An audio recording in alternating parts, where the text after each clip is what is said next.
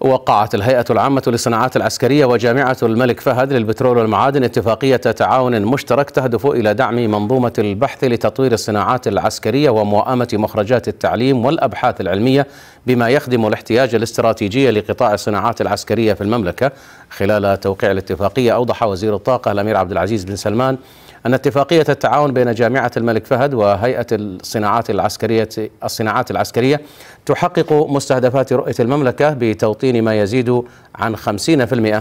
من الإنفاق العسكري.